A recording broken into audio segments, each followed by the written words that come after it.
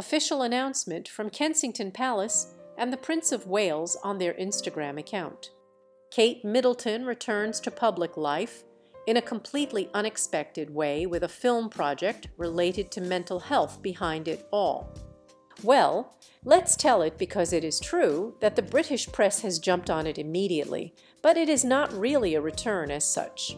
Let's say they are somewhat delayed projects that now somehow come to light. Also, here on YouTube. By the way, on the other hand, we have the other woman, a new one, not Rose Hanbury, who has settled in Kensington Palace. A new person casts a shadow on Kate. She has been talked about in recent days. Honestly, I haven't wanted to make much noise about it because there were conspiracy theories for me that were quite incredible regarding that. But the truth is that when I tell you her name, you'll be amazed because she was the person I mentioned here on the channel and well, it caught our attention quite a bit.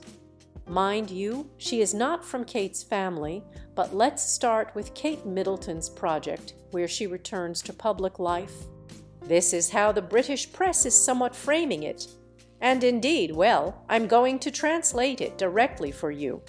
Princess Catherine, Catalina, or Kate as we know her, presents a new trailer for a film about mental health in her first project since the royal's cancer diagnosis. Well, Kate has taken a small step towards returning to royal duties with an important announcement before Mental Health Awareness Week. Just a few hours ago, the Prince and Princess of Wales confirmed the release of a new short film to highlight the mental health of farmers in the country.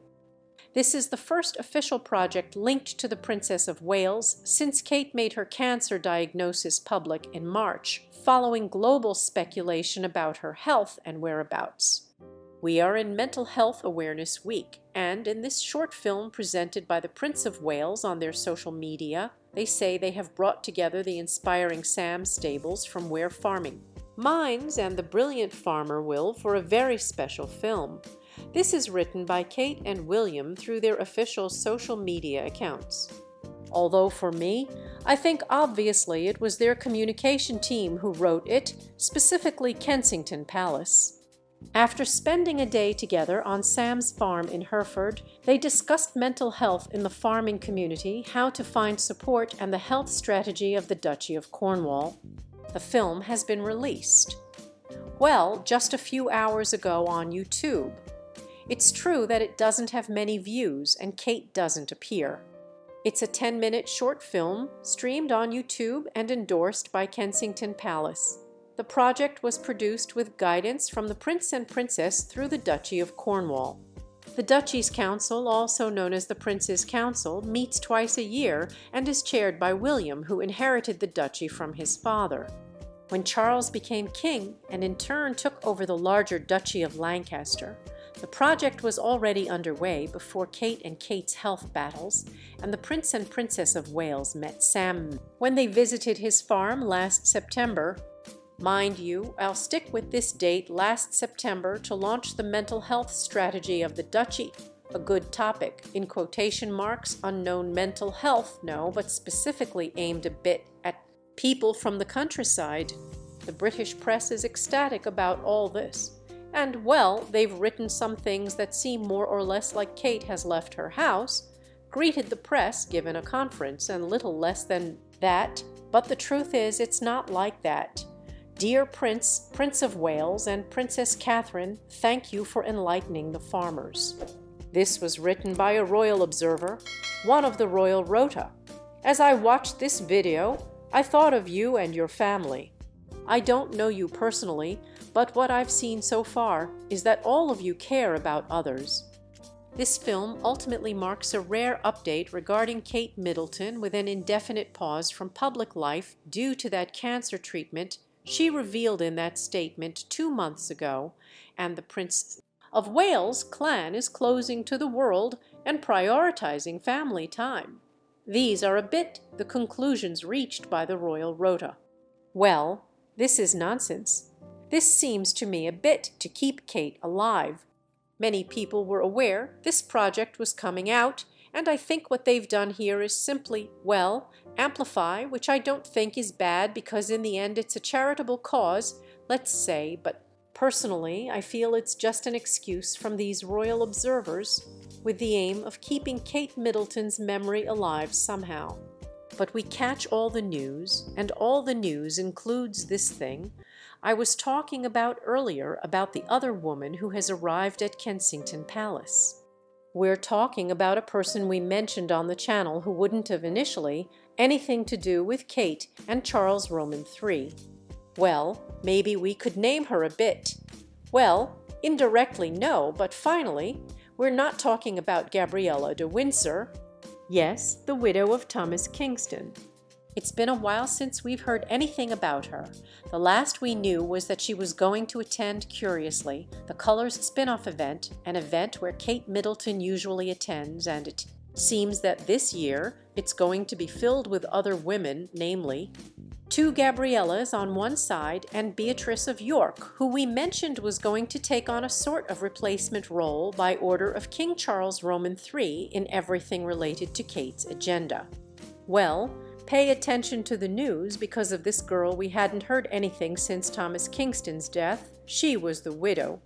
There were many questions about it. Well, now we know that Lady Gabriella Windsor, the deceased wife of Thomas Kingston, who supposedly died from a gunshot wound to the head, has moved to Kensington Palace. Yes, she is now part of real life, William and Kate's royal life, and why this move? Well, as you know, there have been many conspiracy theories surrounding Thomas Kingston's death. It was said at the time that he could have been Kate's lover. It was said at the time that William could have had something to do with it. In his tragic demise, articles were published asking what would happen if an heir or a future king or a prince commits a crime. And well, from there, there have been all kinds of theories, even theories that talk about Kate's pregnancy by this man. Of course, none of this proves if they were more social media theories than actual news published about it. Thomas Kingston's death, however, is mysterious. At the time we already said there were some odd things about it because of his work, because of his political family, and we didn't quite see it all. In any case, with whom Thomas Kingston did have a relationship was curiously with Kate's sister, as you can see there with Pippa Middleton. Of course, it's attention-grabbing. It's attention-grabbing because we've had a week where we've seen a complete rise of other women with the British press, leading a narrative somewhat to overshadow the Princess of Wales. We've seen it with Beatrice of York, who, all things considered, may be an harmless element because she also gets along with Harry just like her sister Eugenie. We've also seen how Rose Hanbury received Camilla's blessing and has been seen in public events, returning to public life with her son, also wearing a bit of the king's cloak, which caught our attention. And the third in discord of all these women is Gabriella Windsor, who is William's cousin, but now we know she has moved to Kensington. My question is since when? Since Thomas's death? Well, probably. Well, upon receiving news like this, and considering a bit applying normalcy and logic, well, it's normal to seek refuge in your family. It's normal for people who love you to help you, but it's something that catches my attention. I don't know if it's a bit of the slander of all these conspiracy theories, but if there are things in this regard that I find a bit significant. I want to recall William's words when Thomas Kingston passed away, saying it was a tragedy for the whole family. Words that resonated and words that somewhat turned against him by a sector of social media. Personally, I think there's nothing in all this, they are just cousins. But, well, we already know a bit that the blood ties in the royal family are somewhat strange, not normal like the rest of the people. But beyond all that, I don't see anything strange. The only thing, well, is her presence at the Colors spin-off, which I think other women are going to continue to appear. We might also find Rose Hanbury there. But well, as a fact, it seems quite curious to me that we haven't had any news about this girl, Gabriella Windsor, and that now suddenly she reappears with this unexpected move. Well, I don't know what you think. Leave it in the comments, subscribe, ring the bell, Like to support the channel and I leave you here with more videos and on the secondary channel. Thank you for being there